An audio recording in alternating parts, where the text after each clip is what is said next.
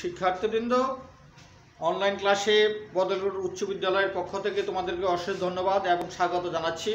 আশা করি করি করোনাকালীন সময় তোমরা বাড়িতে সবাই সামাজিক বিধিবিধান মেনে চলবা। তোমরা সুস্থ থাকো, ভালো থাকো, তোমাদেরকে ধন্যবাদ জানাচ্ছি। আজকে আমরা কিশোর ক্লাসে ক্লাস সেভেনের একটা গণিত বিষয় নিয়ে আমরা আলোচনা করব।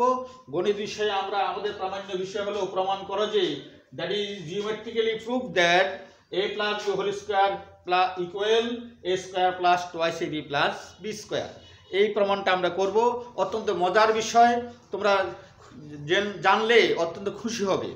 কেমন? লক্ষ্য করো, আমরা যেহেতু জিওমেট্রিক্যালি প্রমাণ করার জন্য বলছে, জ্যামিতিক পদ্ধতিটি। জিওমেট্রিক্যালি অর্থাৎ জ্যামিতিক পদ্ধতিতে প্রমাণ করো যে A plus B whole square equal to A square plus twice B plus B square তাহলে আমরা এখানে একটা জ্যামিতিক চিত্র অঙ্কন করব, কেমন? জ্যামিতিক চিত্র অঙ্কন করব, লক্ষ্য করো, আমরা এখানে একটা বর্গক্ষেত্র অঙ্কন করব। বর্গক্ষেত্র।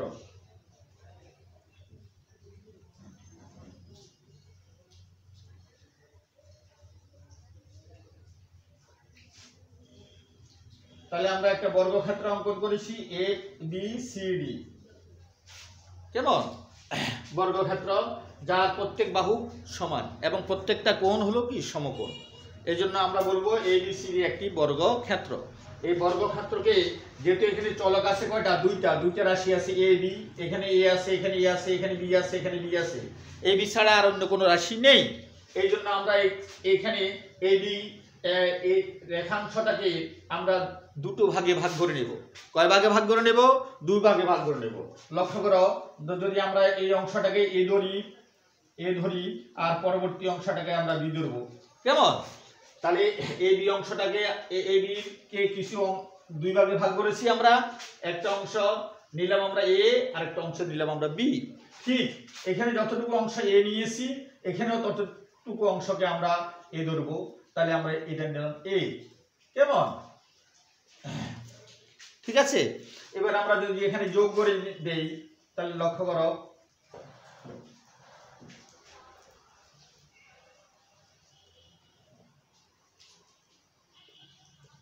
তাহলে এই অংশটা এ, এই অংশটা হলো বি। কেমন? একই রূপ অবস্থা। এখানে এখানে যতটুকু অংশ এ ধরলাম, এখানে ঠিক ততটুকু অংশকে আমরা এ ধরবো এ ধরবো। এখানে ততটুকু অংশকে আমরা এ ধরবো। এবার আমরা যদি এদিক যোগ করে দেই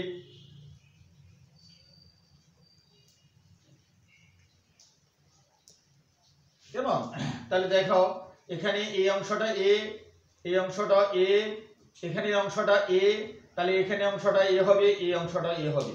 তাহলে দেখো, আমাদের পুরো ক্ষেত্রটার নাম ছিল এ বি সি ডি একটি বর্গক্ষেত্র। এই ক্ষেত্রটা এখানে এখন কয়টা ক্ষেত্রে বিভক্ত হয়েছে? চারটা ক্ষেত্রে বিভক্ত হয়েছে। এইটা যদি আমরা প্রথম ধরি এইটাকে যদি আমরা দ্বিতীয় ধরি, এটাকে যদি আমরা তৃতীয় ধরি, তিন নম্বর ক্ষেত্র, এটাকে যদি আমরা চার নম্বর ক্ষেত্র ধরি। কেমন? তাহলে এই অংশটা হবে বি এই অংশটা হবে বি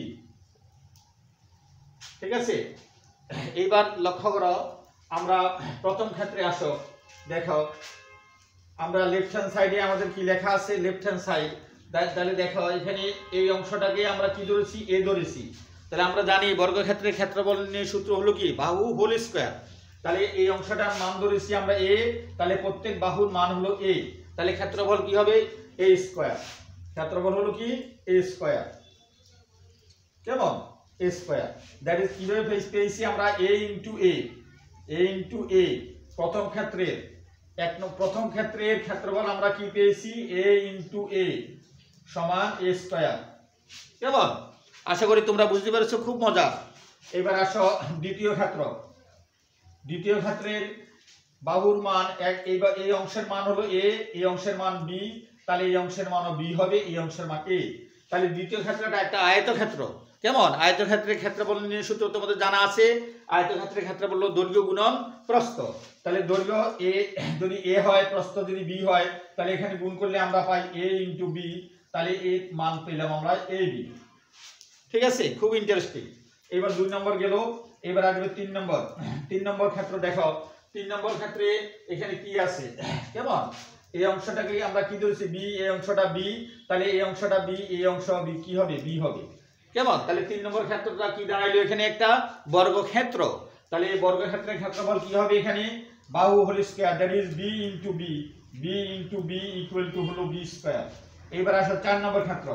চার নম্বর ক্ষেত্রে এখানে কি আছে?